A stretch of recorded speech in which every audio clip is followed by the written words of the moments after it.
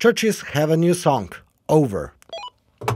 Yes, the song is called Over, and it's excellent. I recommend it.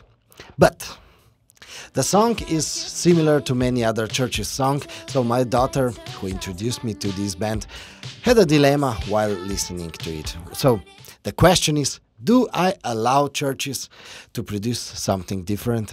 And my answer is no. Because I take Chvrches as a band that will give me a specific feeling, a specific soundscape.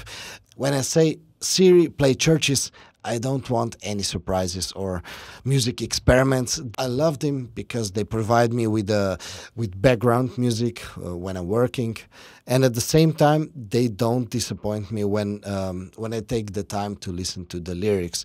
And the singer Lauren Mayberry is a journalist like me, and on top of that, an activist, and uh, I suppose that means she won't sing just ooh ah ooh. She will always demand some content, and um, that has been uh, true for a decade.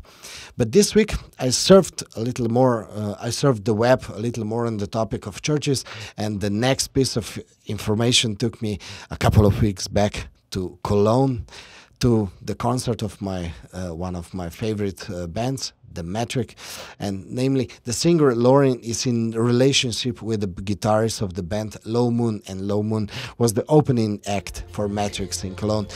This guitarist is the son of Dave Stewart from Eurythmics, and his mother is uh, one of the singers of Bananarama. That, of course, means if you remember Bananarama, that means you're quite a few years old like me. But now it's time for me to stop here and you say, Siri, play the new song by Chvrches. See you next time.